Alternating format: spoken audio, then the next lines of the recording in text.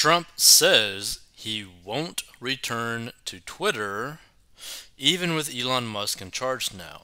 So, former President Donald Trump said on Monday that he won't return to his former favorite social media site if new owner Elon Musk lifts Twitter's controversial permanent ban against him.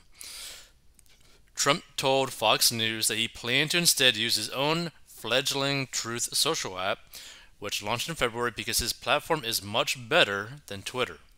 I am not going on Twitter, I am going to stay on Truth, Trump said. I hope Elon buys Twitter because he'll make improvements to it and he is a good man, but I am going to be staying on Truth. And here's the thing the way that I view this situation is that if Elon Musk does what he claims that he's going to do in terms of Twitter, like what he's going to do with Twitter once he gets full ownership of Twitter, I think Truth Social and all these other social media platforms that are supposed to be like replacements for Twitter are going to get destroyed. Just completely destroyed. So Trump said Truth Social was much better than being on Twitter, adding Twitter has bots and fake accounts. Here's the thing every single social media site has that. He also said that Twitter became very boring because conservatives were thrown off or got off the platform when I left.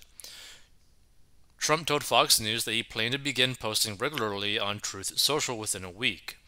He hasn't been heard from on this site since an introductory February message that said, Get ready, your favorite president will see you soon.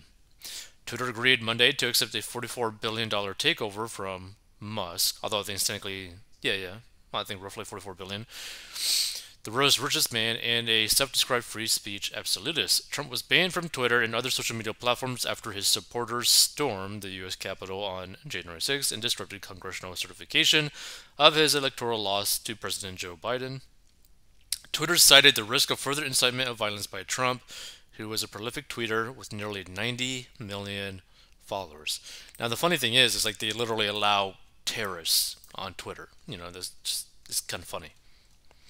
So, Truth Social has been plagued by problems since its free iPhone app was unveiled, which with would-be users put on a long wait list and Android owners shut out entirely, which I think is completely stupid because also it's a lot easier to get your app approved on Android than on iPhone. So two key execs resigned earlier this month, and the share price of the company that plans to take it public has plunged nearly 40% since Musk disclosed he'd bought a stake in Twitter. Truth Social, whose CEO is Trump ally and former U.S. Rep Devin Nunes, switched over to a new cloud-based hosting service four days ago, Fox News said.